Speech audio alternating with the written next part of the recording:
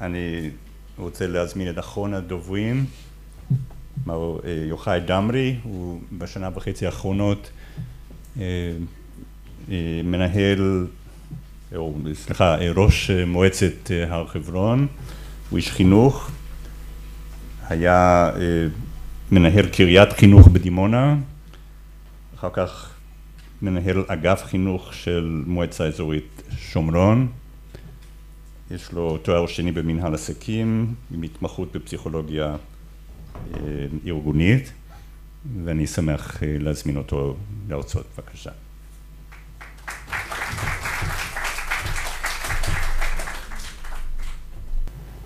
ערב טוב, שמח להיות כאן. לפני כמה שנים היה שר חינוך בשם זלמן ארן שאמר לפני שאני מדבר אני רוצה להגיד משהו. אז אני לוקח את האמירה של זלמן ארן ולפני שאני מדבר אני רוצה להגיד משהו ואחר כך עוד משהו ובסוף אני אדבר. אז מכירים אותי כראש המועצה האזורית הר חברון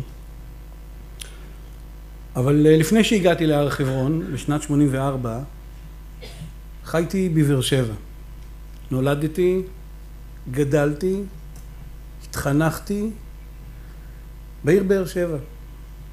ולא סתם בבאר שבע אלא דווקא בין השכונות היותר קשות בבאר שבע, בין שכונה א' לשכונה ד' צפון.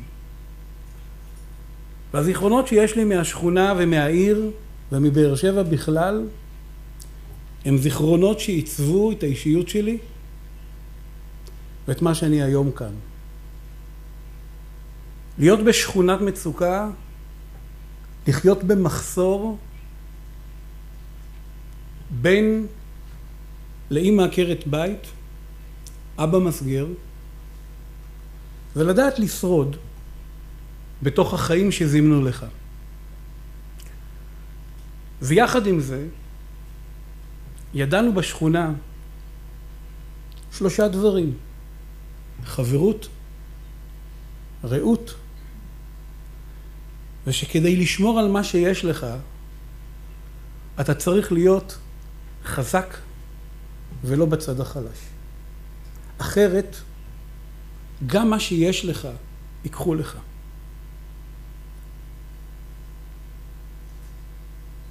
אני זוכר בהיותי בן עשר, אבא שלי בא אליי, אני מתרגש שאני אומר את הדברים, כי בהתחלה לא הבנתי את מה שהוא אומר לי. הוא אומר לי, תשמע, אני לא זכיתי. הגעתי לארץ בן שלוש עשרה, הייתי חייב ישר לצאת לעבודה, לעזור לפרנסת המשפחה. אבל אני את הבן שלי רוצה לחנך. ולכן עשיתי חיסכון מהמעט של מה שהיה לי, כדי שאתה תוכל להגיע לבית ספר תיכון. אני לא זכיתי. וכששמעתי את האמירה הזאת, התרגשתי אז, אני מתרגש גם היום. כי זאתי האמירה שעיצבה את המקום שלי היום כמקום שלקח אותי למקומות של החינוך ממקום של הקשבה וממקום של דיאלוג. זאת הסיבה שאני עוד בבאר שבע התחברתי אל העשייה החברתית החינוכית, הן כקומונר בבני עקיבא, הן בקליטת העלייה של יוצאי אתיופיה, מבצע משה, הן כחניכה של יל, ילדה חירשת אילמת בשכונת דלי צפון, שבמשך שנה שלמה הלכתי והובלתי אותה.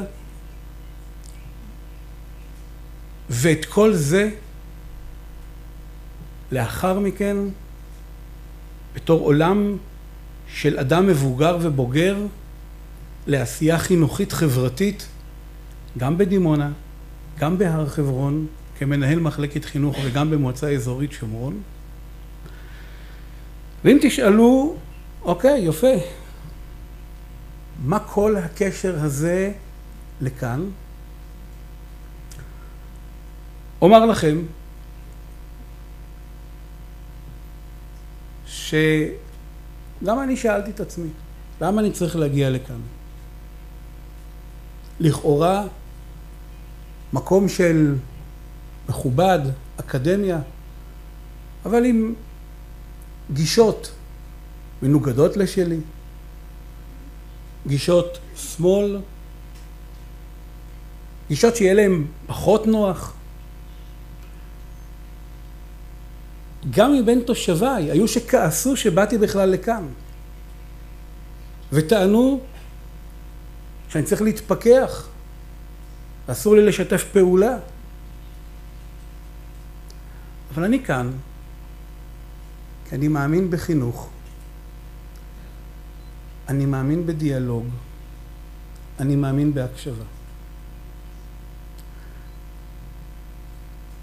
אלתרמן כתב שיש פה תחת השמיים כלל ידוע בספרים כצבעי המשקפיים, כן צבע הוא הדברים. ואני מנסה ואנסה להוריד רגע אחד את המשקפיים, לא נשים את השחורות ולא נשים את הוורודות. וננסה רגע אחד להסתכל על הדברים, אולי כפי שהם, אם זה אפשרי, ואם זה לא, אז פעם נשים אותם ופעם נשים אותם.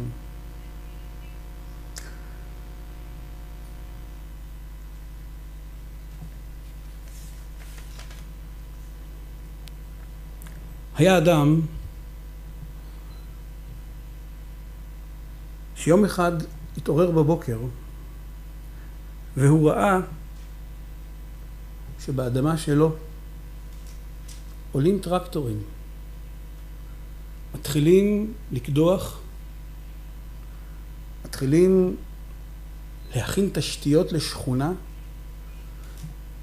מתחילים לייצר עובדות בשטח. האדם נזעק, הייתכן?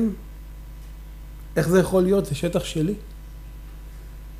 רץ, הלך, לקח עורך דין, העלה את הטענות, נבדקו הטענות, עוד דיון ועוד דיון, ובשטח בינתיים העשייה בעיצומה.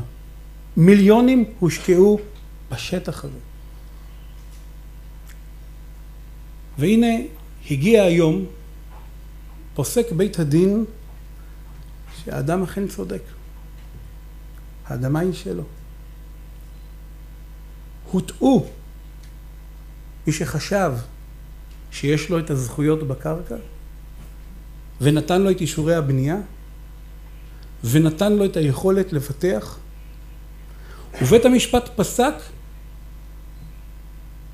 שצריך להחזיר את האדמה ולהחזיר חזרה את התשתיות.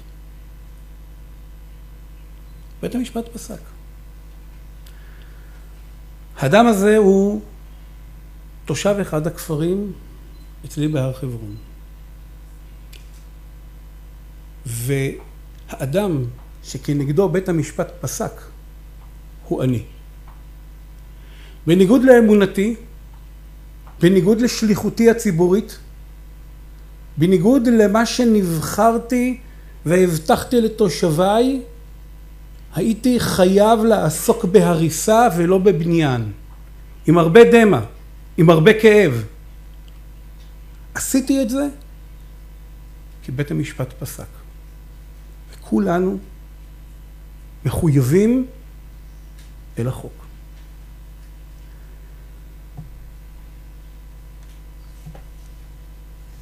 בארץ ישנם סיפורים רבים.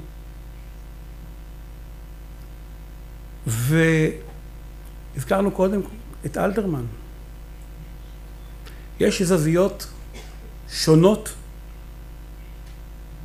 לאותה מציאות. הדוברים המכובדים שלפניי הציגו זווית אחת. אני רוצה בדקות הקרובות להציג את הסיפור שלי, את הסיפור שלנו. לפני הכל, אני רוצה רגע לעשות סדר. במה אנחנו מדברים? הזכיר קודמי שכשמדברים על סוסיה מדברים על שלוש מקומות? שלושה. שלושה? אתם צודקים? שלושה מקומות?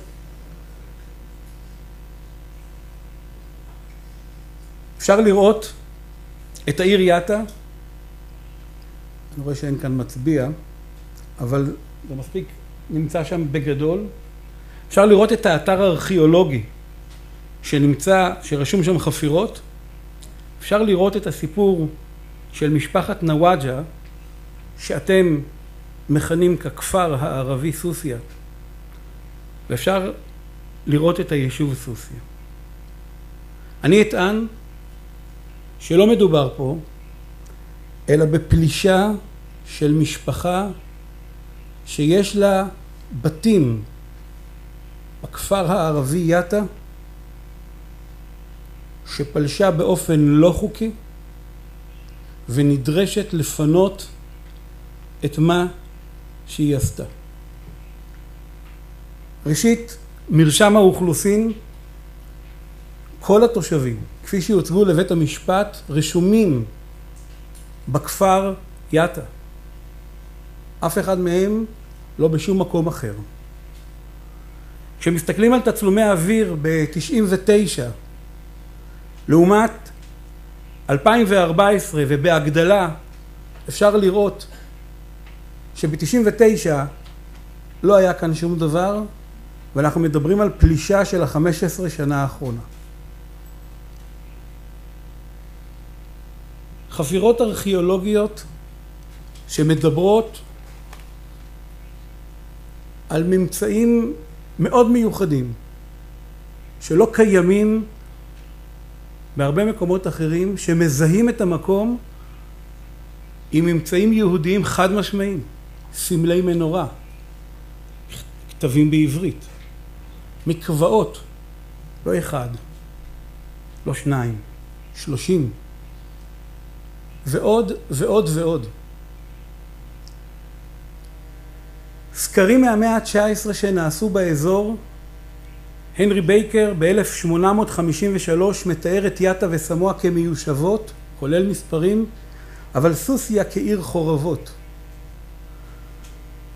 סקר חירום של כוכבי ב-67 מדברים על עדות לחורבות עתיקות עם יישוב חדש לצידם, שזה טואני וסמואה, אבל סוסיה מצוינת כחורבה. יעקב חבקוק, דוקטור יעקב חבקוק ב-84, חי עם הפלאחים במאורות דרום הר חברון ומעיד שלא היה יישוב קבע במקום.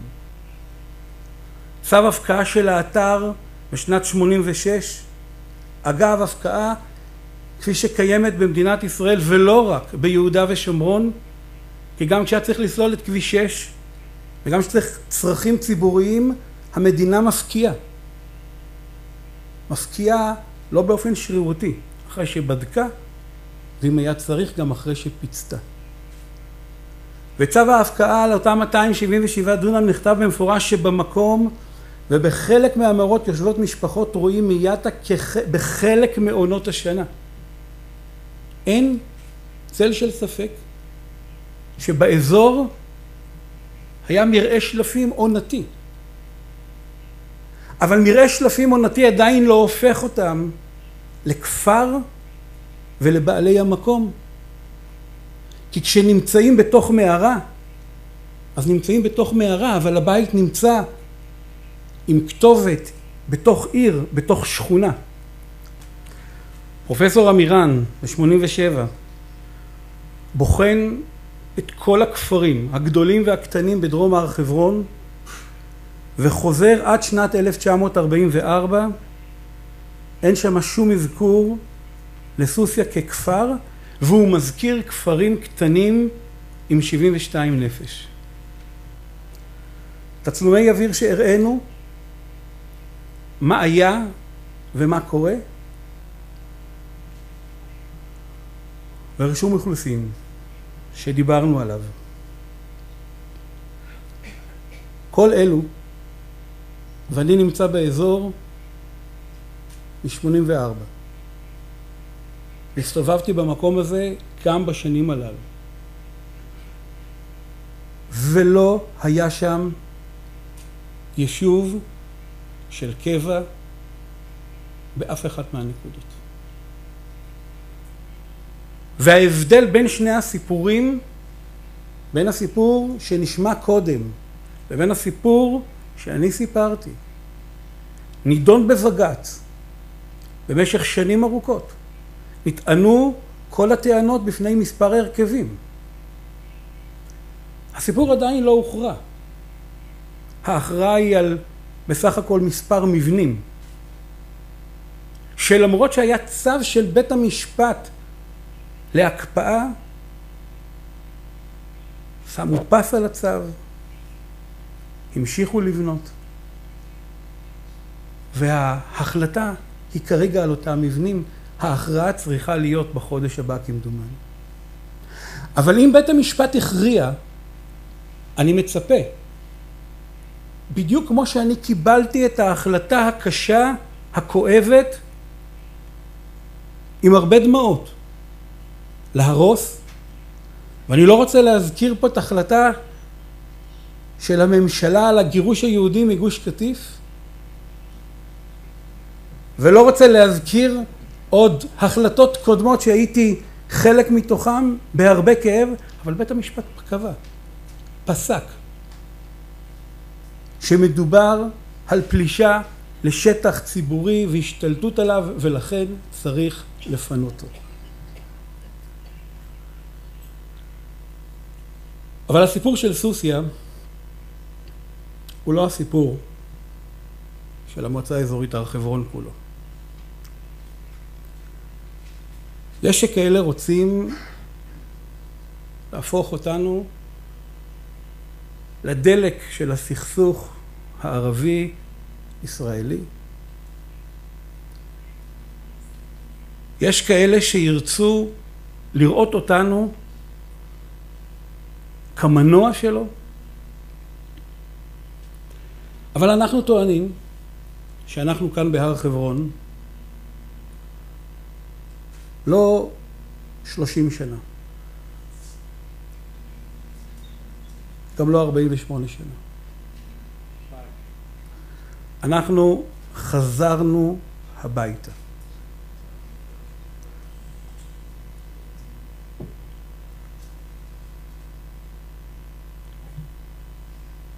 יושב פה השגריר.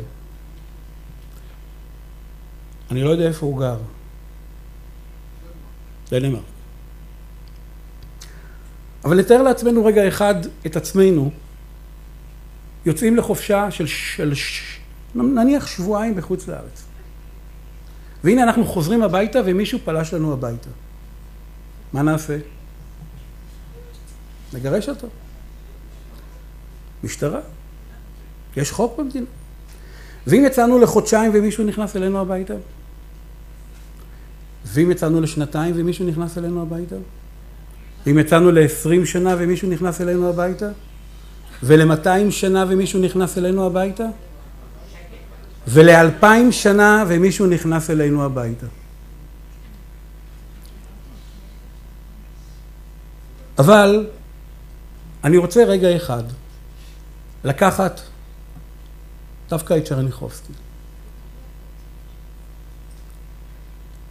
כשצ'רניחובסקי אומר האדם הינו אלא תבנית נוף מולדתו. אני רוצה רגע אחד להבין מה מלמד אותנו, האזור הזה, הר חברון, בין ספר למדבר, בין הר למדבר. מצד אחד בגובה של 800-900 אלף מטר מעל פני הים, ומאידך מינוס 400 במרחק של שום דבר. מה זה מלמד ביחס אל האנשים? לדעתי,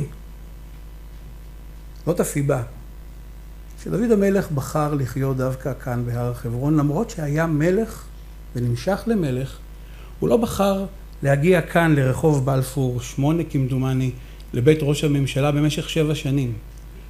הוא הבין שהמקום שלו, הבית ספר למנהיגות שלו, בהר חברון. מדוע? כי הר חברון מחברת. חברון היא מלשון חיבור ולא פירוד. גם בערבית חברון חליל, אהוב, חבר, מחברת. וגם היום החיבור הזה, המיוחד הזה, בין המקום העני שבו 50 מילימטר גשם למקום העשיר שבו 450 מילימטר גשם. מנהיג צריך לדעת לחבר הפכים ולא לחיות רק עם מישהו מסתדר. אנחנו ממשיכים בדרך הזאת, וגם בהר חברון חיים זה לצד זה.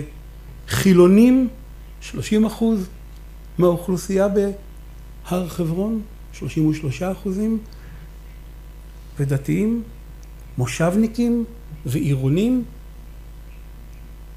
אוכלוסייה שלמה, מגוונת. וגם חיבור של שכנים בין האוכלוסייה היהודית לאוכלוסייה הערבית. גם, רק לפני שבוע, שבועיים, היה מפגש מרתק של ראשי היישוב היהודי בקריית ארבע וחברון עם שייחים מתוך העיר חברון, אבו סננה, חוץ מג'אב. והיו שם מפגשים מרתקים שמתקיימים. אבל מי שמקיים את המפגשים האלה שלא בשפת השכונה, הוא לא מביא את השלג, הוא מביא את האביב. אני אזכיר שגם במזרח התיכון היה מי שרצה להביא את הנאורות ואת הקדמה, רצה להביא את הדמוקרטיה לתוך משטרים שהיום מתפרקים למול פנינו והפכו לאביב ערבי. צריך לדעת לדבר את השפה. אנחנו מדברים את השפה. אנחנו מדברים את השפה משום ש... אני אומר לכם, ברמה האישית, אני לא רואה הסדר מדיני קרוב, כנראה לא בחיי וכנראה גם לא בחיי ילדיי. אני לא רואה הקמה של מדינה פלסטינית. לצערי, אני אומר שאני גם לא רואה סיפוח של ההתיישבות היהודית או של היישובים היהודיים. אז מה בינתיים?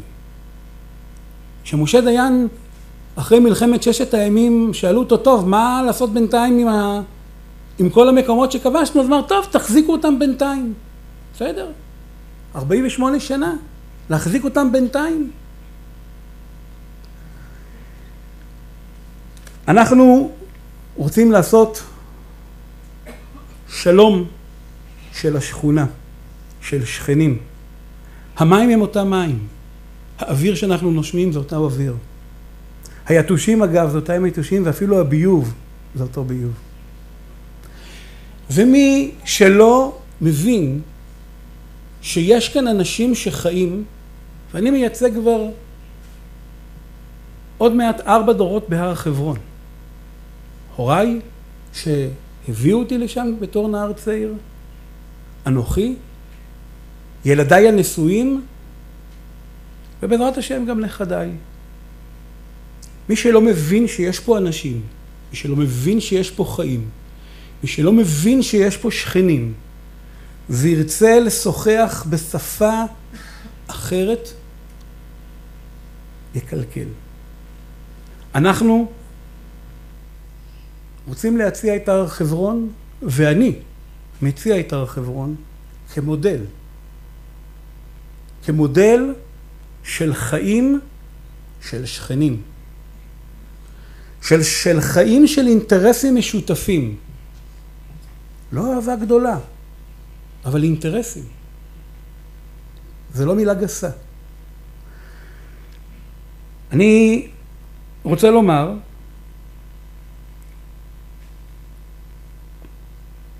שכדי שהדבר הזה יתקיים, צריך לקדם גם פרנסה הולמת גם בריאות טובה וגם חיים של יצירה, ושלושת אלה קיימים היום בהר חברון. רק בשבוע האחרון, אתם יודעים מה? לא בשבוע, היום אחר הצהריים, אוטובוס פלסטיני התהפך ליד סמוע, שבעה פצועים, מי שטיפל בו זה חובשים של מועצה אזורית הר חברון. שלשום הייתה, נעצרה, הייתה שלשום, או לפני יום, אולי קצת יותר, לידה פלסטינית מהסהר האדום שהסתבכה במצג עכוז, עצרה בצג הדרך, מי שעצר לידה זה היה פרמדיק שלנו, שילד את האישה ולקח אותה לבית חולים. מי שעושה את העבודה הזאת היום, מי שישב אצלי וביקש ממני להקים אזור תעשייה משותף פלסטיני יהודי להייטקיסטים פלסטינים שרוצים לראות את שיתוף הפעולה בינינו ומקדמים את זה היום במנהל. מי שרוצה לראות שטחי מסחר משותפים שמקודמים היום במנהל. ואני אספר לכם עוד סיפור. רק לפני מספר חודשים פנה אליי, רק לפני, עוד דקה, לפני מספר חודשים פנה אליי פלסטיני תושב יטא ואמר לי, תשמע, אני רוצה לבקש ממך קידום, סליחה, רוצה לבקש ממך מימון בחירות. אני הולך להתמודד לרשות הפלסטינית. שאלתי אותו, נפלת על הראש? על מה? הוא אמר לי, כן, אני רואה את מה שקורה סביבי. אני רואה את השחיתות. אני לא מאמין במה שיש שם. אני רואה את האחים שלי אצלכם במדינה, ואני מאמין שצריכה להיות מדינה אחת לשני העמים.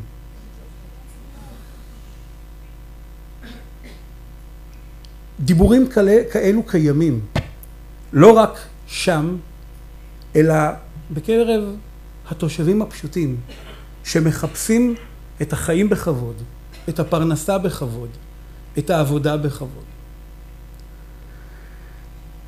אני רוצה לסיים דווקא בדברים של אלתרמן, שאיתם פתחתי. ההמצאה יקרה משקפיים.